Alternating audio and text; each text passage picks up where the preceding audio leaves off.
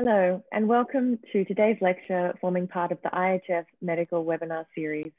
My name is Courtney Gahan, and I am your moderator this afternoon. We have three translation languages available today, French, Spanish, and Arabic. You can find these at the bottom of your screen if you are joining us on Zoom by clicking the globe icon marked interpretation and selecting the label for your language. This first IHF Medical Webinar Series is part of the Virtual Academy introduced this year by the IHF to facilitate global online learning. All of this falls under the umbrella of the IHF Education Centre, which you can access at ihfeducation.ihf.info. Today's lecture is presented by Professor Grethe Myklebust, Professor of Rehabilitation and Prevention at Oslo Sports Trauma Research Centre at the Norwegian School of Sports Sciences and focuses on prevention and rehabilitation of knee and shoulder injuries. As always, please feel free to ask questions throughout the lecture and we will do a short Q&A session at the end. And also please note this is being recorded so you will be able to access it later on the IHF Education Centre as well as on the IHF Facebook page. So welcome, Professor. We are ready to begin when you are. Thank you very much and uh, thank you for inviting me to have this uh, presentation about two of my favorite topics, and especially just talking about handball is the, the best I can do. So uh, today the, the topic will be, uh, I will first go through the research model that we use when we are talking about both rehabilitation and prevention. Uh, I will mainly talk about risk factors for ACL injuries and the injury mechanisms and how they actually happen. I will quite shortly go through an ACL prevention program. And then I change focus to rehabilitation of knee injuries and return to play guidelines and challenges after, um, um, for example, a, a, reconstruction of an ACL injury. Then I will uh, change uh, position and uh, talk about shoulder injury prevention. And, uh, and finally talk about the implementation challenges and and tell you about where you can find a lot of this knowledge uh, about uh, both, especially prevention of injuries, uh, in our uh, fit2play.org website and an app called Get Set. So first, uh, how do we do it when we are talking about uh, sports injury research? Well, first, we need to know the magnitude of the problem. So if we are talking about ACL injuries, we need to know the number, how many people, how many handball players ruptures their ACL um, every season. Uh, when we have that numbers, we need to know the causes. Why do they happen? And what are the risk factors for getting an ACL injury? And based on that knowledge, we will probably have an idea of how we can prevent the, the injury and then we test that uh, that uh, idea or the exercises, for example, and then count the number of injuries again. So that's a normal way of doing uh, this um, this uh, uh, research. So first, first I will start about prevent prevention of knee injuries, and when we look at this um, video, this is Norway playing against uh, France couple of years ago when you see this you all know how handball is it's so quick. There's a lot of cutting movement turning uh, one leg landing and, uh, and nice goals as you see here. So nothing wrong happened. And just see here this is the same match. Look at the number 22 uh, she's now doing um, normal cutting movement in handball that we see they do it thousands of, uh, thousands of times during um, during a season, and it's uh, and what we know is that it's a typical way of rupturing an ACL in, ACL uh, in handball, and uh, you will get it from another angle. This is Nora. Probably you could recommend. You can see her, and and you look at this position that she put her leg on it's a really wide cutting movement, which it's not favorable for the ACL. So this uh, national team player, she ruptured her ACL. She has gone through uh, rehab and is come back now.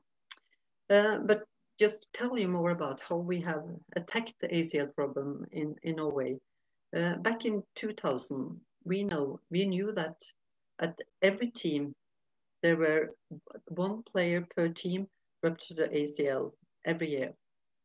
So in a season there could be 12 ACL injuries, uh, which was a really big problem in Norway. And I know it's more or less the same numbers in, in other countries, but we really did uh, precise counting of the numbers and how they uh, ruptured their ACL.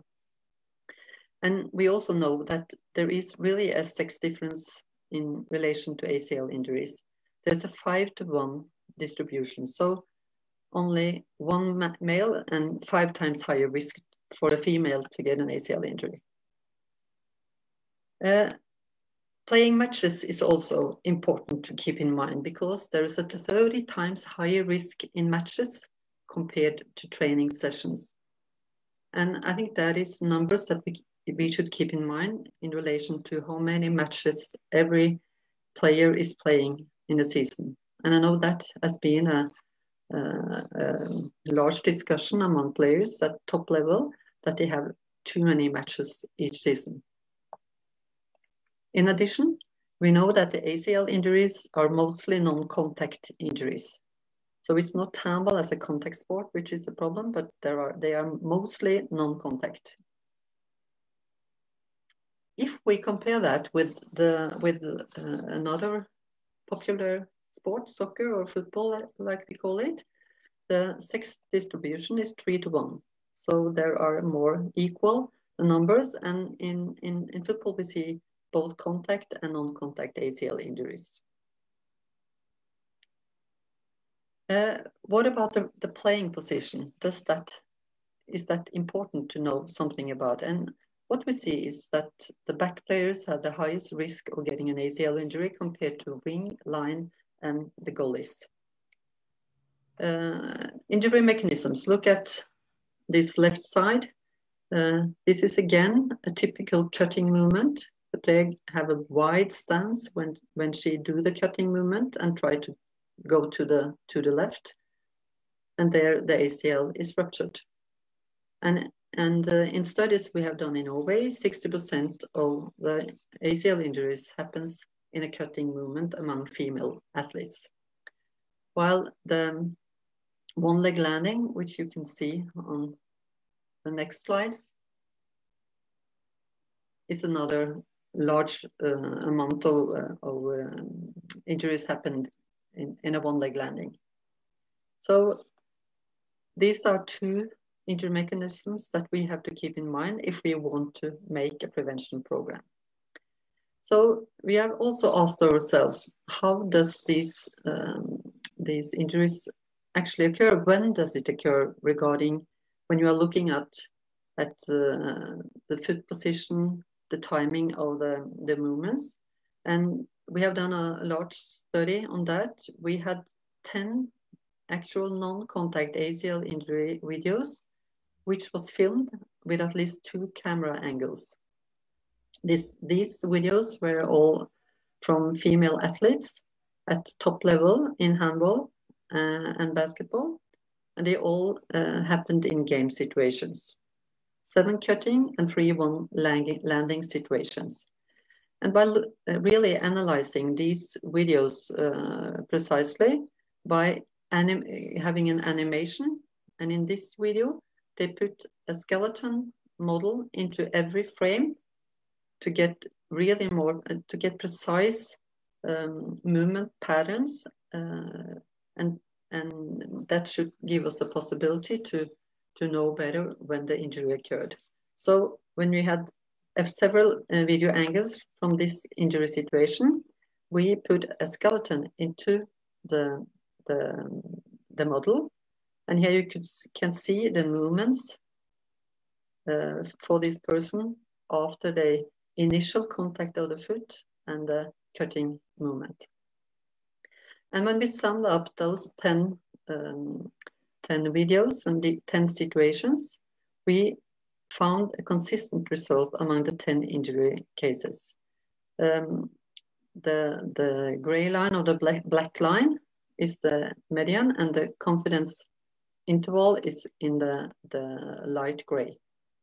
So we found that there came a sudden valgus increase, which reached 12 degrees in, in 40 milliseconds after initial contact. So 40 milliseconds after you have put your leg on the floor, then we saw the sudden valgus increase. So that in, the ACL ruptured at that time.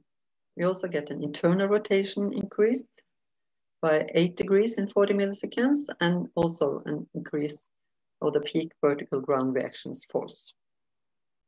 So uh, we could conclude that injury takes place within 40 milliseconds after initial contact and the injury mechanisms involves valgus and internal tibial rotation.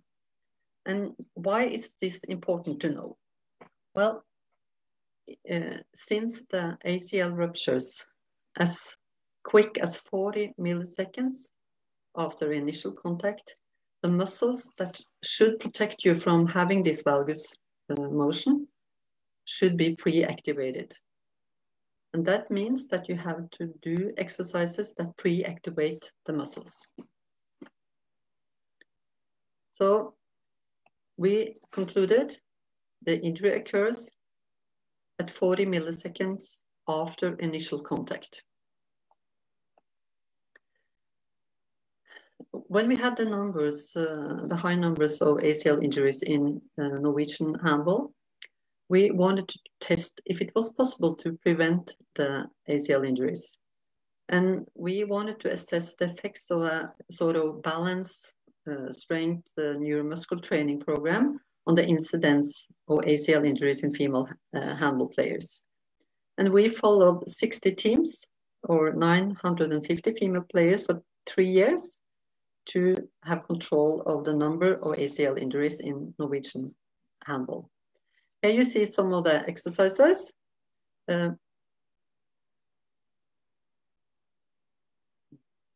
and here you see some of the exercises.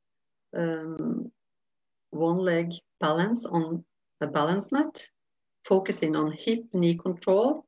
And we talked a lot about um, the knee over toe positioning. Uh, so they were working a lot of balance exercises, jumping exercises like here, and try to focus on two leg landings and not and a smaller cutting movement. So all the time, the knee over toe positioning was uh, was uh, a phrase that the players really learned. Try to have the knee over toe positioning or the hip knee toe in line. Um, here you see some more exercises. We know that some of the uh, injuries happens after a perturbation or a push like that, and then they need to to try to land on two legs instead of of um, one leg as much much as possible. So hip control, um, knee control, ankle control, and try to punch the ball on a wobble board with closed eyes, which is quite difficult. Again, training two leg landings, trying to have a, a more narrow um, cutting movement.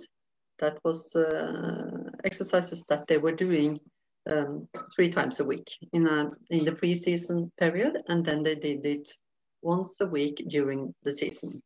So what happened after we had done this for two years?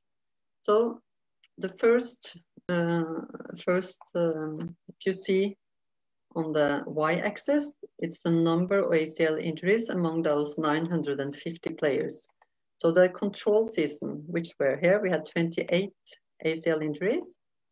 Then it was, we introduced the training program or the exercise program, and it was reduced down to 17 after two years. When we looked at the numbers, it was a non-significant number. Uh, when we looked at both the elite first and the second division. But when we just analyzed the numbers from, for, for the elite athletes, we found that those elite athletes who did not do this program had a 16 times higher risk of an ACL injury uh, compared to those uh, who did it. So doing the program works. You can prevent ACL injuries um, among female uh, handball players. Or maybe more precisely, you could um, reduce the risk of getting an injury. So it's important to keep that, that in mind. And there have been several studies.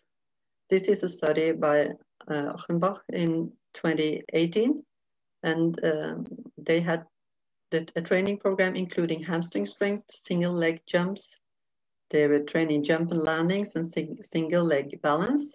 And they concluded with that neuromuscular training prevent knee injuries. And it should be implemented in regular routine as well as in coach education. In uh, some years after the ACL prevention study, we did um, a randomized control stu study among youth athletes, both girls and boys. This was uh, the intervention group did uh, a 15 to 20 minute training program, including running exercises, technique training, balance training, and strength and plyometric exercises. And uh, the balance exercises you could see on the wobble board. They were also practicing a more narrow cutting movement and a two leg landings after jump shots, for example. And to down to the right, they were doing the Nordic uh, hamstrings uh, exercise. And uh, after following the control uh, group and the training group, and this was uh, about 1,000 players in each group, we saw that it was an uh, almost a 50% reduced risk of getting both ankle and knee injuries among the young players who did this more uh, standard standardized uh, warm-up program compared to normal warm-up, uh, which every team had their own way of doing it. And when we looked at the knee ligament injuries, there were 10 in the control group and three in the intervention group. So this warm-up program really worked with an 80% reduction of serious knee injuries. So here you can see the, the, the Norwegian hand, female handball players again. Now, while you can see the incidence or the number of injuries per team per season on the y-axis here. So in the control season, in 1998, 99, there were about half a, half uh, injury per team per season. When we looked at both elite, first and second division. Then you see in green, the, the number went down during the intervention. Then we stopped the intervention. Uh, I was actually writing my PhD but we've continued to follow the teams or counting the number of ACL, ACL injuries. And what we saw here, it was an increased number of ACL injuries the next years.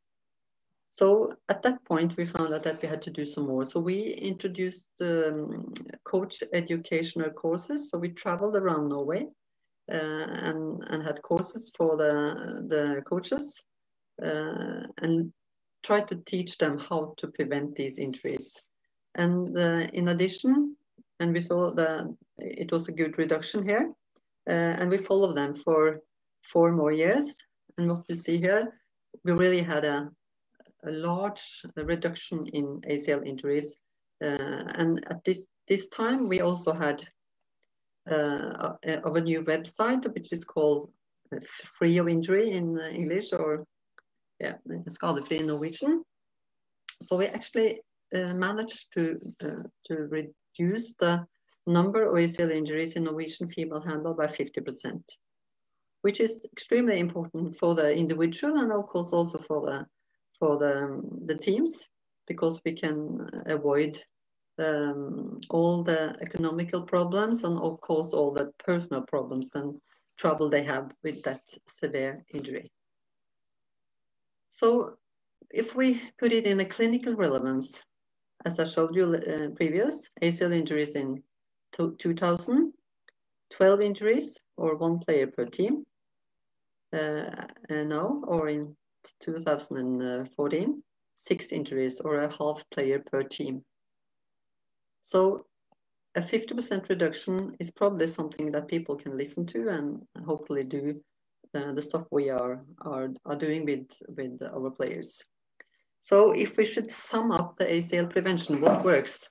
Well, neuromuscular training, technique training, try to have a two leg landings, practice two leg landings early when they start uh, playing handball. Um, more narrow cutting movement and coordination balance exercises and strength and running exercises and jumping exercises plyometrics. So doing this regularly, uh, for example, as a warm-up gives almost a 50% risk reduction.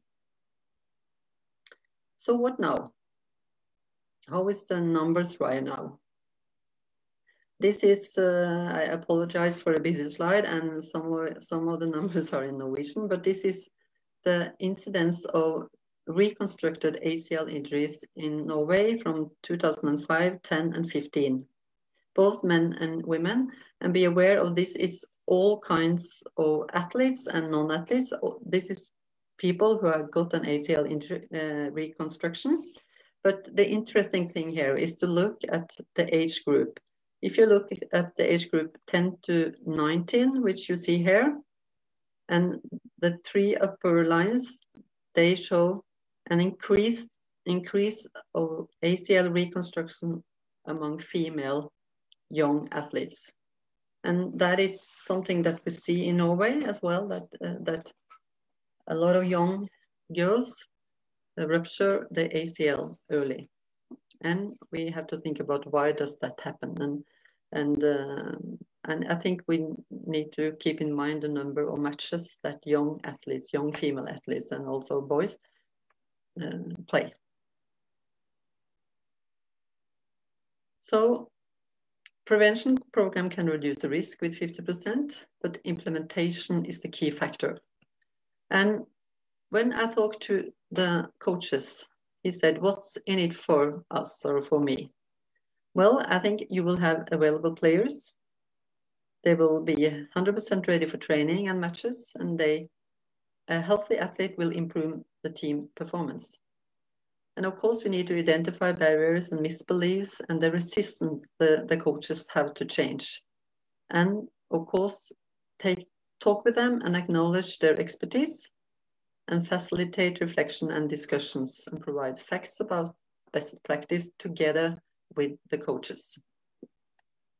So what about the players? What's in it for me? Well, they can train and play matches. They are more or less 100% ready to perform if they keep healthy. They will develop as a player and have a longer and better career.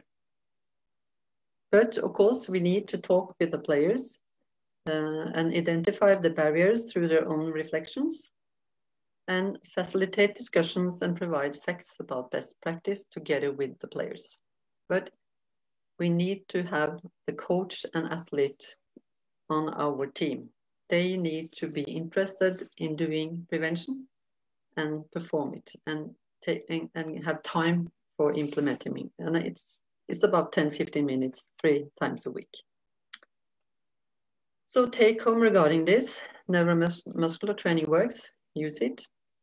Maybe think about restriction on number of matches for the, the best players who are attending several teams.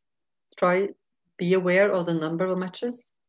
Monitor the workload, how much do they train and practice in total? And you need to have coach and player education and cooperation. And think about how we can implement the, this knowledge as best as we can. So I just want to check the time. So I then we go to re rehabilitation and return to sport after severe knee injuries. And uh, how do we do that? Well, first of all, it's important with information uh, after a severe knee injury. Both athlete, parents, and coach need to get information and we need to follow the patient for six to 12 months. And it's, of course, it's dependent on age and level of play, and we need to assess the function. We need to take the mental readiness um, into account and also have patience. It takes time to come back after a serious um, knee injury. And we have a rehabilitation algorithm, uh, which are in different phases. First, we in the beginning, it's important to get a better range of motion or get a normal range of motion. Then we are thinking more about motor control and then muscle strength, which of course the main goal is to for, for most of the athletes to go back and play at the same level or maybe better than before. And, the, and this takes time. So, so there are different milestones on the way to, to, to go back. This is a, just a exercise progression model which Blanchard and Glasgow have presented in 2014, which you can find the article and go into it. But it just shows that you start with with uh, when you start uh, hop, hopping, you have to go start uh, very slowly with forward motion before you jump higher, before you go back and forth. So the, it's a way of structuring the way um, the exercises and what kind of exercises you include in the in the rehabilitation. But maybe maybe the first milestone for first athlete is to get a straight leg to to try to to get a full extension so it's possible to get rid of the crutches and uh, that is important to use a lot of time on, get a, the fluid away and get contact with the vastus medialis and the quadriceps uh, muscles so you are able to get rid of the crutches. Uh, just one typical, very simple exercise that you could start way to, to facilitate to have full extension on when you're doing this uh, this uh, exercise. Just to, you must ma manage to have a straight knee when you do that, because if you go with flexed knee, there will be no uh, no good walking, and then you really need to have the crutches. So training full extension is important. You need to have adequate loading, alignment, and terminal knee extension, because when you do, you can load and have control in the terminal knee extension that initiate running. So having a straight knee here is important. And then you can uh, increase uh, the difficulty on the uh, this uh, model and put in more uh, more um, comprehensive exercises. Um, when we talking about uh, rehabilitation, we often talk about range of motion, motor control, and muscle strength. But I think it's important to keep in mind the psychological part, to, to build confidence, to understand progress, to educate the athlete, maybe the parents and the coaches, master progression, help them to, to be independent, self-preservation and communication. That's really important, the uh, psychological part. And the X factor, exercise prescription, weighting of tasks to, to, to, to choose what is important at the different, different stages of the rehabilitation and prioritize focus and optimize physiological efficacy. And this you will find in Brukner and Khan's uh, great book from 2017. So when we are working with the athletes, it's important to be aware of straight knees. So they are managed to get a full ex, uh, full um, extension of the knee. And you see here, this is not good enough. Get, taking the steps with um, some flexion and then really need to, to, to control both legs and see if they manage to have a full extension. Um, doing strength uh, now leg extension you could do quite early but you see it's not full range of motion but activating the quadriceps quite early after a, a reconstruction uh, by just doing almost no no no um, weight on it just really easy and doing a small small activation exercise uh, we need to focus on function so here you can see, you probably can recognize Nora Mørk after her reconstruction, having having taken weight and have control, but this is quite early, so she, she had some help, as you can see. Uh, later on, you could do jumping, uh, jumping two leg, one leg, and you can see she she's not, uh, it's not the same control on both legs, but it's nice training. And here you slowly start to do what later on could be a cutting movement, but trying to move in different directions is important. Here you can include uh, the more strength strength uh, training for your um, your uh, torso, which is important when you're a handball player to, to get all the body with you. So this is just some examples that uh, athletes at the Olympic Center are using uh, for our handball players. And then uh, you see again the progression model, you can increase and put uh, more difficult parts into it with jumping and uh, hurdles like you see here um, during the rehab uh, period. So uh, one thing that I know that uh, I got some slides from Håvard Moksnes, which is uh, working a lot with ACL patients uh, this time. And um, what he do with his top athletes, he asks every athlete to write down a comeback list. What what it's what is important for them in defense action and what is important in the attacking actions and, and get them to put uh, write it down uh, on paper. What do you have to start with? It's first doing some um, movements uh, direction, directions first without any resistance or a, or a partner. Then you have with the resistance. Then you have dueling in play and all and then later on you could have um, uh, attacking phase and stopping turning back and all this stuff. And you you could make the athletes make this comeback list for both defense actions and attack action. This is in norwegian uh, the details here but you probably understand what i mean. So they need to write down themselves what's important and then they try and follow that that uh, list uh, and and should feel confident that they are doing all these exercises on a good matter before they can go further.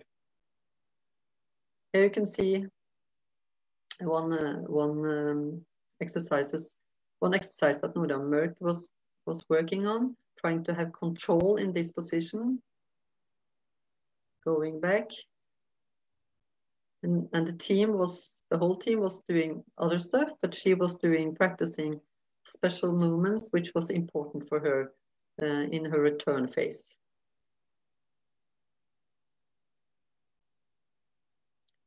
Then she could continue and, and shoot, which is probably what she likes best.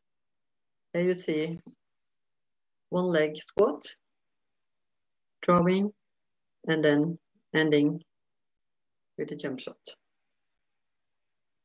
But you combine all these um, different uh, exercises training to end up in something that she really needs. And there she sees she has a two leg landing with flexed knee. Then you can, can have training with a partner. And here is the defense part um, exercise. And uh, the, she's really have a, a good, good workout for her legs. And, and then you can could ask, is it possible to come back after an ACL injury and, at that level? And for those of you who follow the European Championship uh, going on right now, um, Nora is playing really well, and uh, but it has taken time. Uh, so, uh, but she's playing good, and we are happy for that. So, what about the return to sport continuum? Okay, it's first about return to participation then you return to sport, and then you return to, to performance. And during this phase, the clinical assessment is important when you do the rehab. There should be no um, effusion.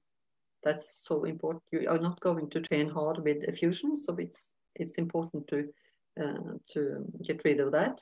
And we have all this test for uh, ACL, Lachman pivot shift, and we test the medial and lateral stability, joint line palpation, and of course the active extension leg test, which you see you, you can lift your your uh, your leg.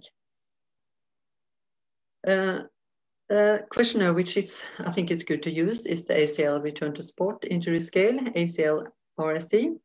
It's 12 questions about confidence, emotions, risk appraisal.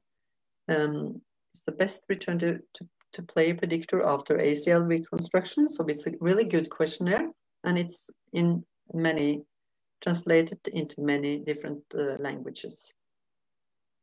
Confidence, uh, the questions uh, the athlete should answer, are you confident about your ability to perform well at your sport? And they score in all of these questions. Are you nervous about playing your sport? Do you think you are likely to re-injure your knee by participating in your sport? And when you are uh, answering this, you will get a score. And I think that will, um, if you have a low score, you, you could see that maybe the athlete is not ready to go back yet. But it could be done several times during the rehab.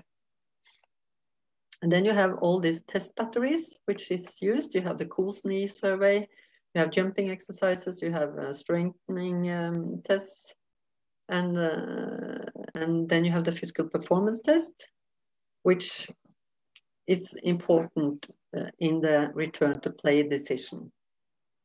I don't want to use so much time on this, but this is a, a three steps assessment of health risk, assessment of activity risk, and assessment of risk tolerance. Because do you toler tolerate that you have some risk by going back?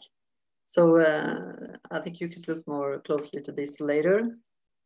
Um, and I also think it's important to keep in mind that actually there's a time frame which is important. Usually we talk about uh, not uh, following a time frame in the rehabilitation, but there are two studies that have shown that it could be possible to to have a, a time in, in mind when we talking about return to level one sport because in this one of these studies from Grindem and co-workers, uh, they found that return to level one sport, which is pivoting sport like handball, should be delayed until at least nine months have passed from surgery and the patient has regained quadriceps strength comparable to the uninjured side.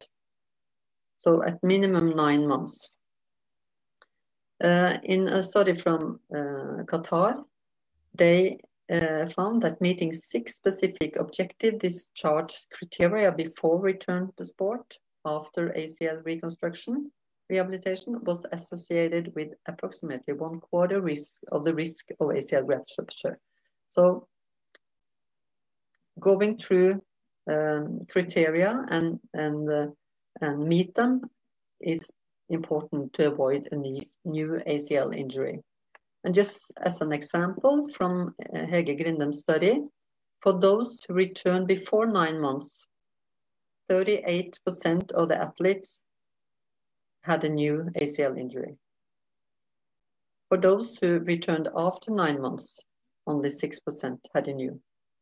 So to keep that in mind, try to avoid too early return to competition. And again, psychological factors, the psychological readiness, low fear on new injury is important, and trust in knee and good knee function is also uh, important to keep in mind. And Ardern and co-workers has, has uh, um, written several articles on that subject. So you are not a patient anymore. Now we have to become an athlete again. I think that's an important statement. They need to be safe and trust their knee. And the criteria for uh, return to sport has been muscle strength measurements more than 90% of the opposite side. The single leg hop test should be more than 90% of the opposite side with adequate strategy and quality of the movement performing a gradual increase in sport-specific training with, without symptoms or fear of, knee, uh, of re-injury. And you should also have a full intensity practice for a minimum of four weeks. That is a criteria which is people are quite uh, agree uh, about. And a muscle strength test uh, for quadriceps, maximum effort with increasing load until failure, and test the highest uh, watt uh, the traditional hop tests are a single leg hop for distance where you test first the the, the healthy leg, then the opposite. And then you just um, measure the distance they jump. And uh, here you can see, uh, take this one, a triple hop uh, for distance. You can see it here. Then you measure how long can you jump um, three jumps. And you measure the distance uh, and compare uh, both legs. And you can also do the crossover and the six meter time hop test.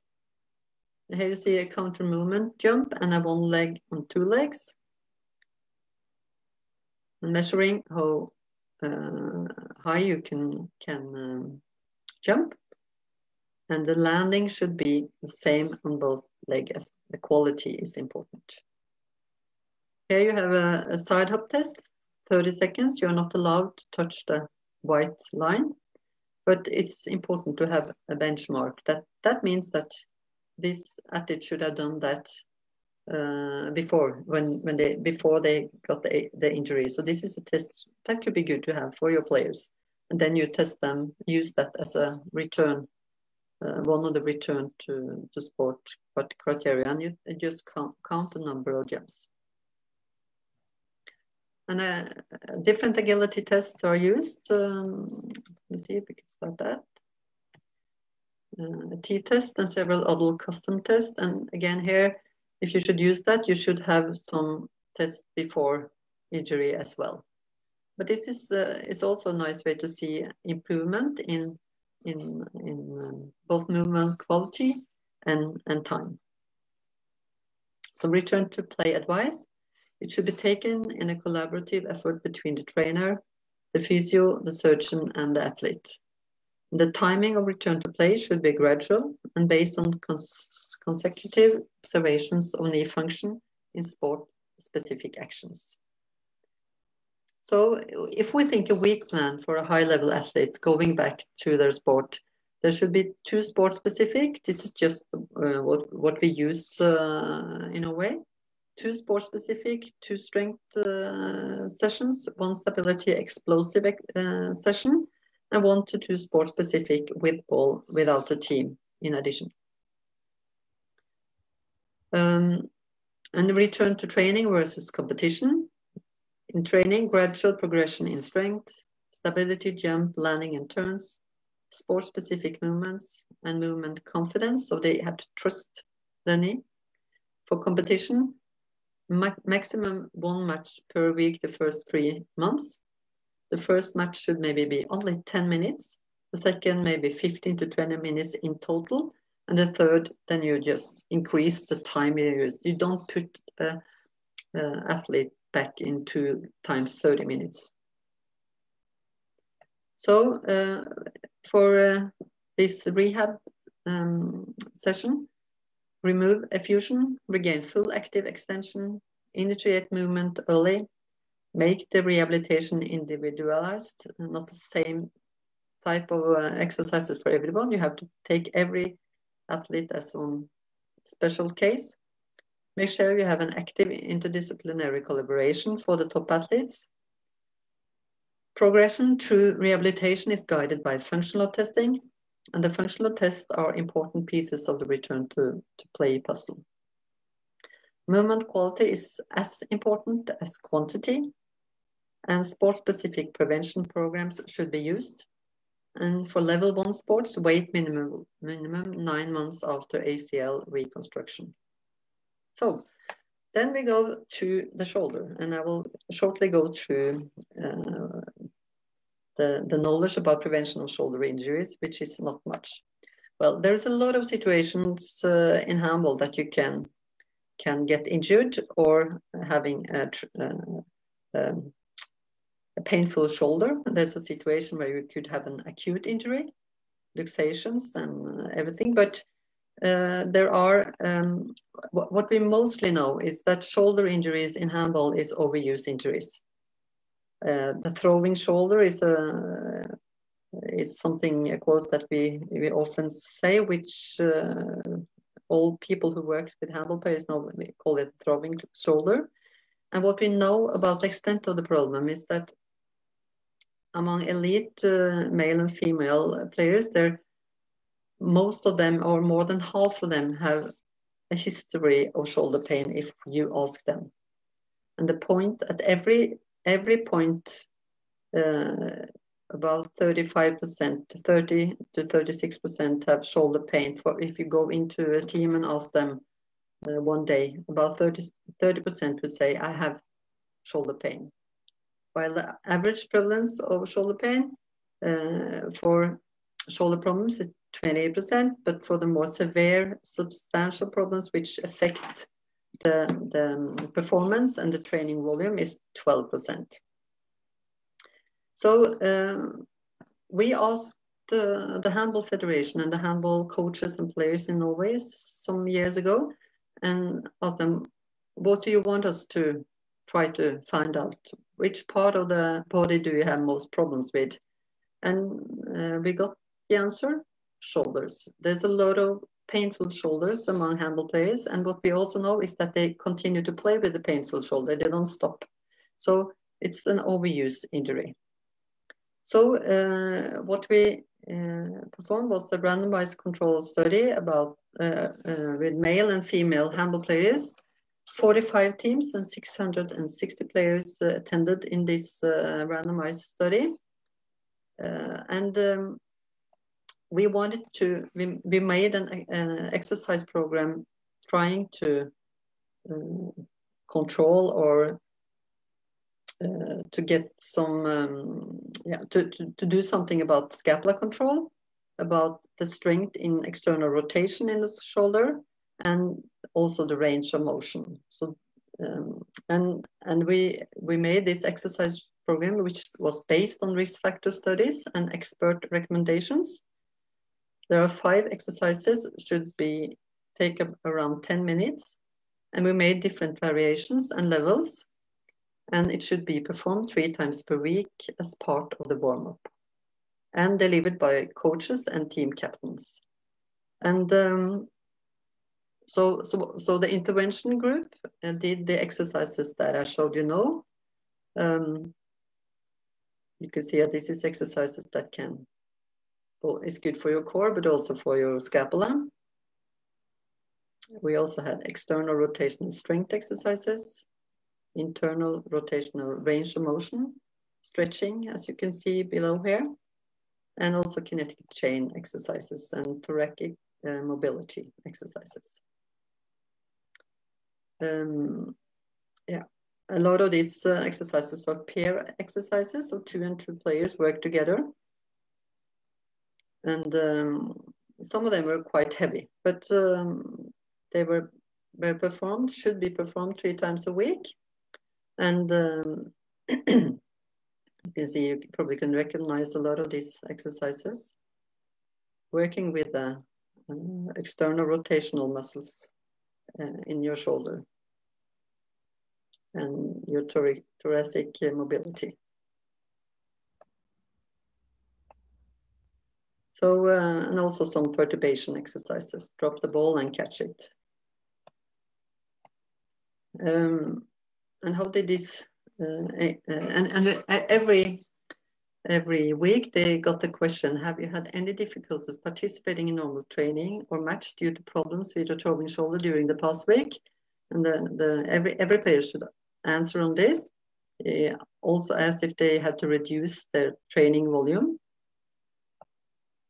if they had the problem, uh, the shoulder had uh, affected the performance during the past week, and to what extent they had pain. And then um, they, if they had, uh, in the yellow, you could see um, if they answered some of these yellow parts, they had uh, a problem. But if they had uh, answered on high high scores on sports performance or training, reduced training volume, it's uh, a substantial uh, shoulder problem. And uh, the results show that um, doing this exercise problem gave a 28% lower probability of reporting shoulder problems among elite handball players in, in, in Norway and a 22% lower probability of reporting substantial shoulder problems. So the, the, the training program was effective. And as you can see, the compliance with the program was not as high as we wanted. In mean, they did it 1.6 times per week. And no dose response. So we know that as all prevention programs, it needs to be completed to have effect. So for the coach, uh, when we ask them what's in it for us, the clinical relevance for the coaches is that you can expect that five players experience a shoulder problem at any time. But you can reduce this by three players by completing the program 1.6 times per week. And for the players, you have a 28% lower probability of shoulder problems by completing this program 1.6 times per week, which makes you hopefully a better player.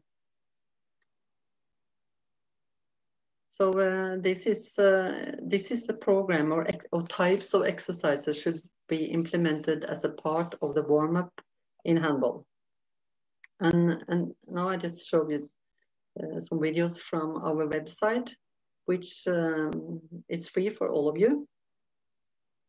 It's uh, called Fit to Play in uh, in uh, in English.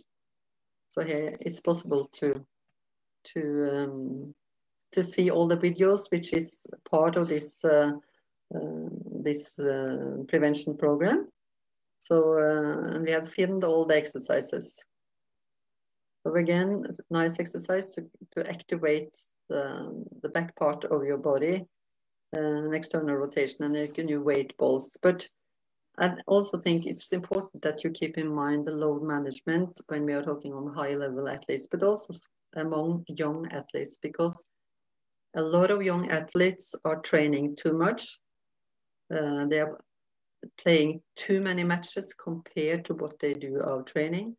So take care of the young athletes by helping them doing prevent prevention exercises as a normal normal thing, not a special thing, but uh, prevent prevention is important to enhance their performance. And just uh, to end up this with um, this uh, fit to play uh, that I mentioned, this is a website um, that you will find uh, exercises for 60 sports and 11 body parts.